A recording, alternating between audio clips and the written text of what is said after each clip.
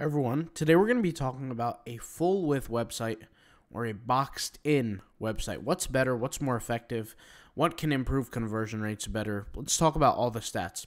So, here within Rocket Web Builder, you have a choice within the customization, the global styling feature, to edit the layout of your website, right? And when UX UI developers are editing your website or changing your website, how it looks, typically there's two differences there's a boxed or a full width. Now, the full width approach is that all the data of the website will reach end to end. So if you look at, for example, Rocket Web Builder, you can see here that it is is pretty boxed in, right? It's not necessarily full width, at least for the home page, right? If we go over here to, for, for example, the WebExpert University link, you can see here it's boxed in. It's not necessarily touching all the way to the left, all the way to the right. Now, let's just talk about how to actually change this. So very simple. You go over here to website layout. First, you go to global styling. Then you click on website layout. Then you check, you know, pick either full width or boxed in, right? So you, you kind of choose, you know, or boxed, whatever kind of selection you want.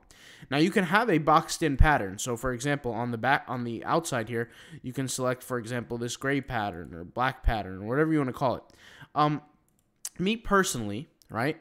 Uh, I I know for a fact when it when it comes down to the stats that a boxed in or a full width does not make a difference on what you're selling. So it's not actually going to improve conversion rates or decrease conversion rates. If you have a lot of stuff on your website, kind of like this website, you're going to want to have a full width website. You don't want to have it boxed in. There's a lot of different things going on on the website. Give it some space. Let people be able to read everything very clearly without having it all crammed in.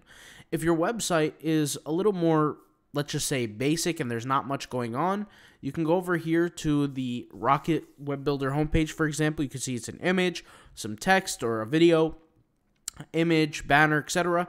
This case, you can have it definitely boxed in if you prefer. But from a conversion standpoint, there is no difference. You could take a look at this one, for example.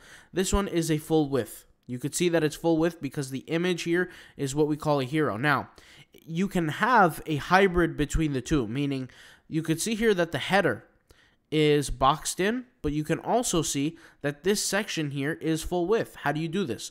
Well, any block that you go to, any banner, anything like that, you head over to the main block that holds all the content, you click on it, and you go over to the resize container section. So all this content is held in a container.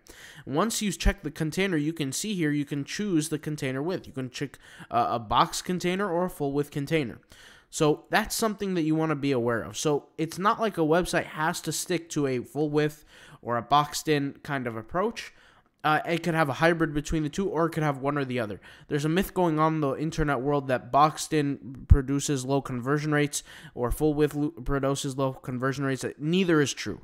It all just depends on how you're designing your website, right? And how effective and how good looking it is. So a website like this, for example, which is one of our supplement uh, templates on our uh, Rocket Builder page, you could go over here to Rocket Builder. You can check out our templates, for example. We have so many templates. I mean, the list just goes on and on and on. This one's called the Legion Athletics one. It's the fourth template currently on the list. Uh, that number might change in the future, but you can look at it. There's a lot going on here, and it looks very well. That's not going to increase or decrease the conversion rates. It's going to leave it just the way it is. In general, you want to have a good-looking website to produce increase in conversion rates because that's what creates trust. When your website looks bad, people just typically don't tend to trust it. In 2023, nobody's going to look at your website and, and, give an excuse for a bad looking website. All right. Uh, the standard is high quality websites. I'll talk to you guys later. Thank you guys for watching. Check out Rocket Web Builder if you're interested in building your own website. And if you're interested in us building it for you, hit us up in the comments down below. We'll take care of you. All right. Peace out. Bye.